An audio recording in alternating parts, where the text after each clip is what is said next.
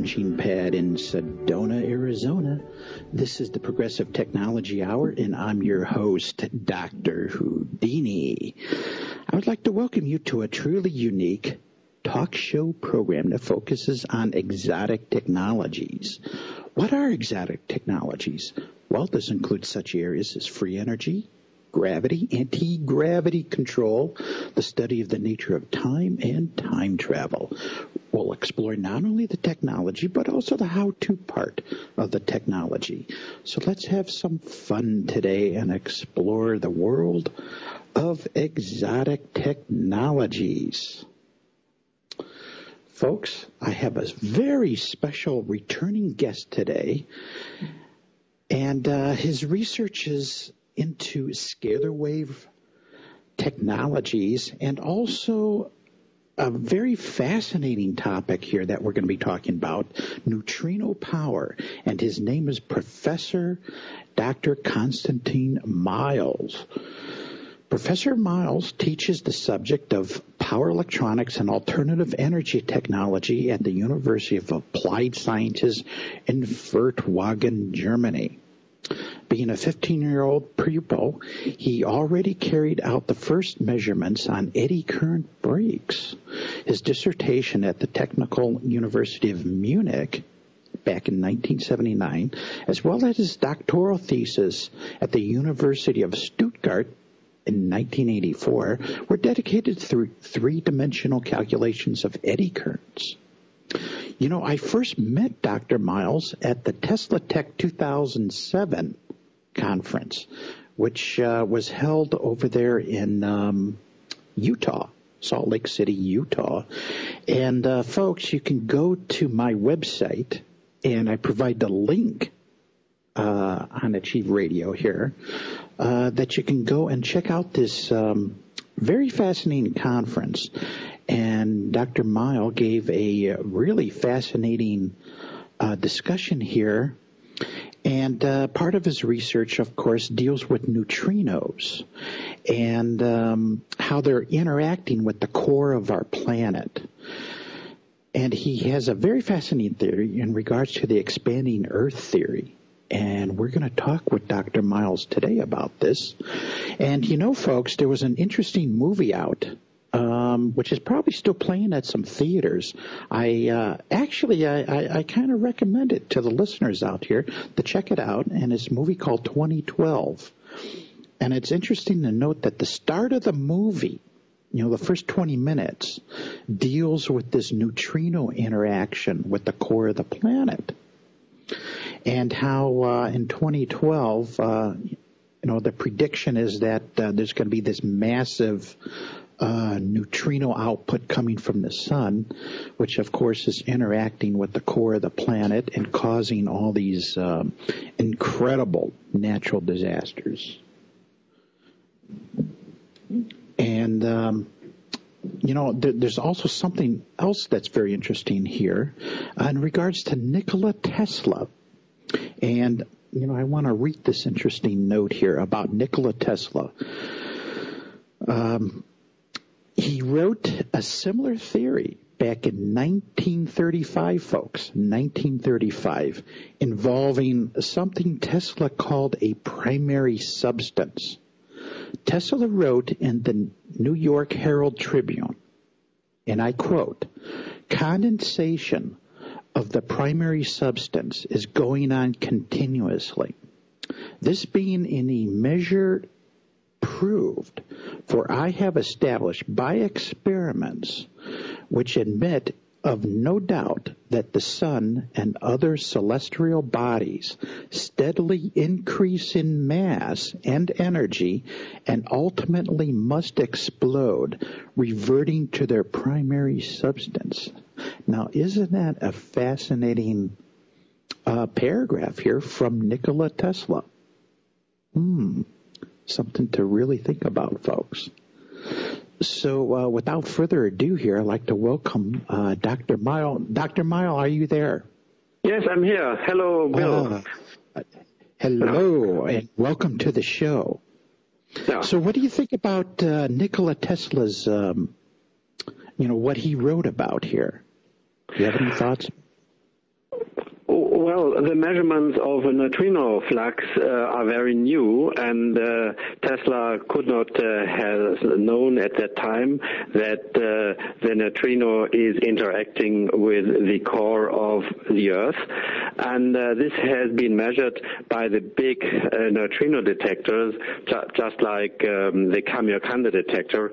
And it's only a few years ago that we have got the results that these interaction uh, happens, and now the physicists uh, discuss because they have measured on daytime two times more neutrino flux than on nighttime. That means 50% of the neutrino flux uh, has interacted with the core of the Earth, and now uh-huh. they are discussing and now they are discussing whether these uh, these neutrinos uh, have changed their properties or uh, whether they have uh, been absorbed. That means they they still are uh, in the core and they change, they materialized perhaps uh, into matter, and uh, they are uh, they let the Earth grow.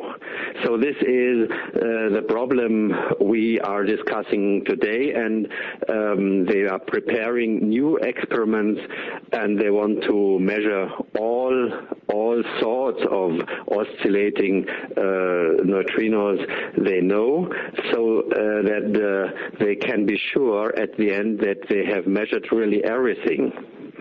Um, okay, well, so doctor, doctor, yeah. Uh, let, let, me stop you right there. You said mm-hmm. two and a half times the the difference between night and day. Is that correct? True. Yes, that's uh, two times more. Uh, at night time, we have only half. We have measured half of the ah. neutrino neutrinos uh, coming from the sun. That means the solar neutrinos.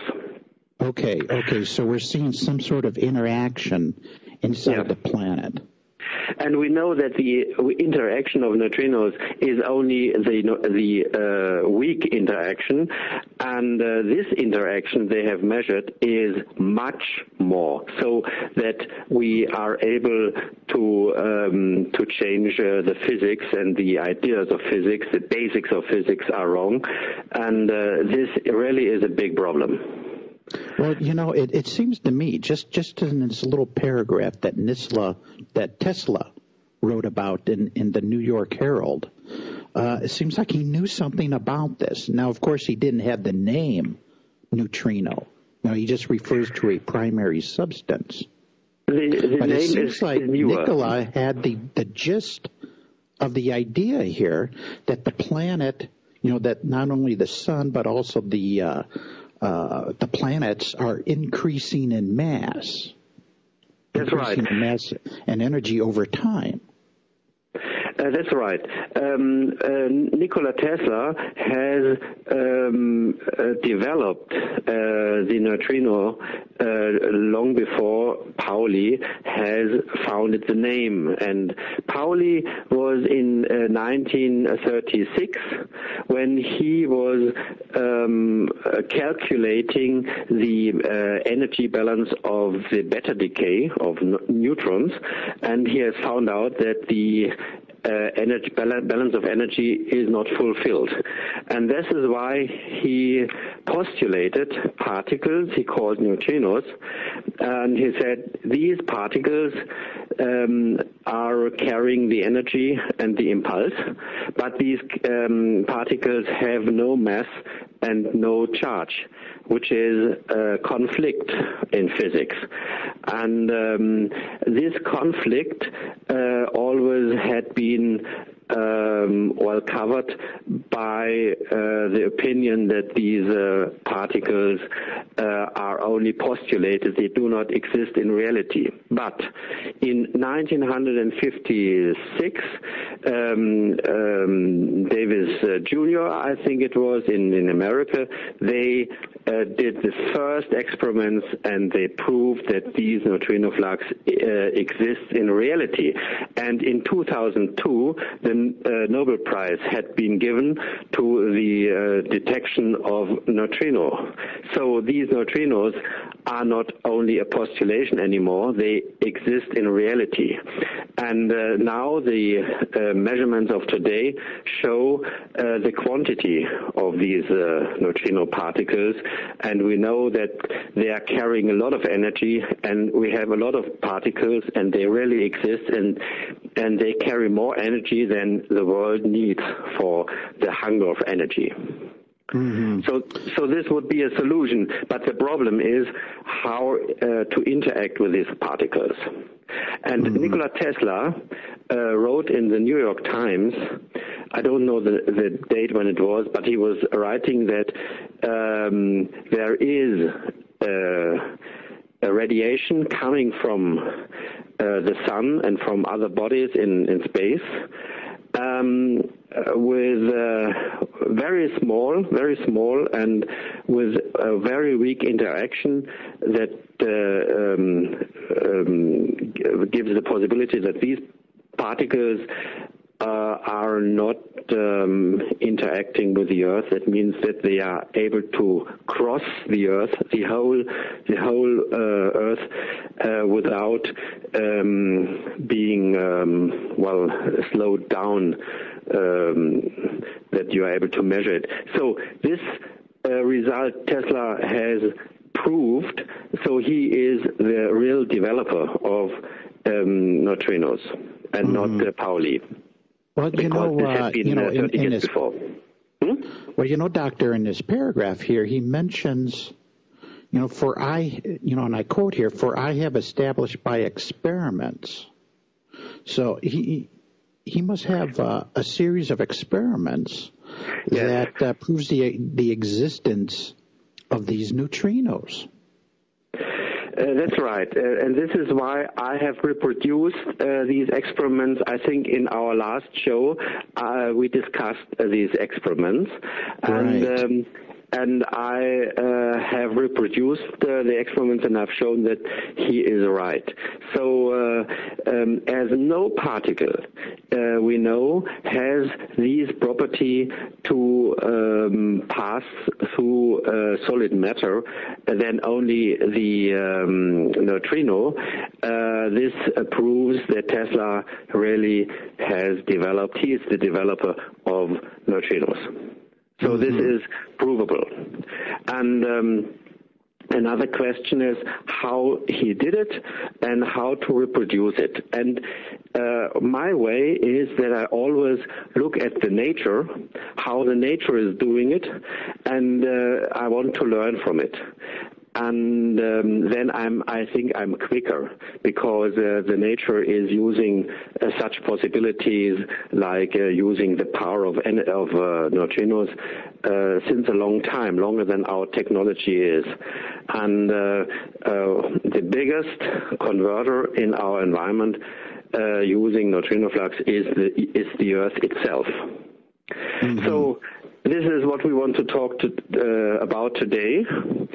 And um, uh, nowadays, uh, it's not very long ago, I think uh, three years, uh, the NASA in America has published, NASA has published uh, um, measurements of the Earth showing, showing a map um, and I think you have this map. I found it on your on your uh, page that um, um, uh, this uh, this map uh, because I have shown it uh, as well on this conference in Salt Lake City, and I think you have the slates on your uh, homepage. Is it right, Bill? Um, well, you know, I have. Uh, okay, with your lecture, you show mm-hmm. a world map, and yes, um, and yes, the listeners out there. It's in the second line, and the second line in the middle. There you see the map.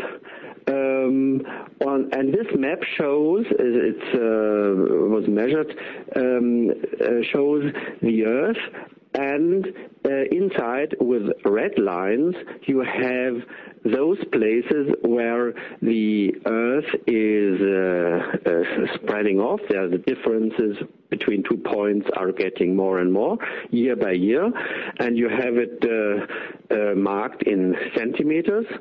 And uh, with blue lines, you have subduction, where